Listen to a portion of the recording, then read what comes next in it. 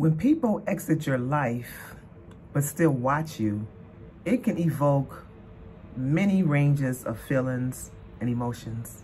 Hey, you guys, it's me, Renie. In today's video, we're going to briefly talk about when people exit your life, but still watch you. So this situation often occurs in the age of social media, where when friendships fade or relationships end, individuals still seem to like to watch each other's online activities. But why? So here are a few potential perspectives on this scenario. So curiosity is the first thing. Why are they keeping tags on you? Why are they keeping tabs on you? Are they being sentimental? Do they want to see you struggle?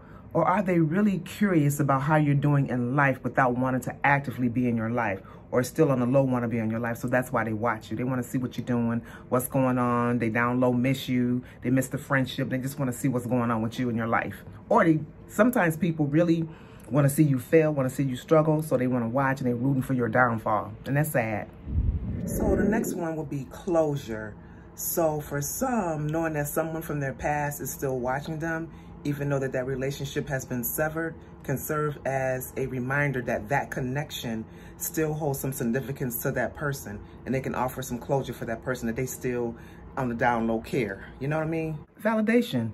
So being watched, even from a distance, can provide some sense of validation because it shows that even though you're no longer involved in that person's life and they're no longer involved in your life, your life still seems to be of interest to them. So they're going to continue to watch. So you can get a sense of validation knowing that, okay, y'all done exited, but you're still watching me. Intrusiveness. So on the flip side, being watched by someone um, who's exited your life can also have you feel scrutinized or judged by the person. It can, it can make you feel uncomfortable, you know, especially if the relationship ended poorly. It can make you feel like you're being, um, they're being invasive and it can make you feel uncomfortable. So there is a flip side to that as well.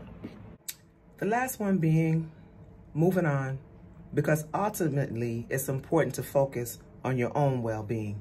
So whether someone from your life is watching or not, it is important for you to continue living your life as authentically and go ahead and pursue your dreams and live your life regardless. So if you find that someone who has exited your life is causing you distress or comfort, it might be helpful for you to set boundaries by limiting access to um, your social media profiles.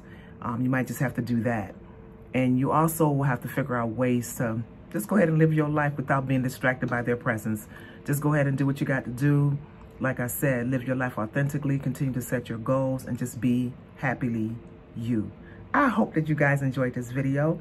Please subscribe, like, and share the video, and I'll see y'all at the next video. Bye.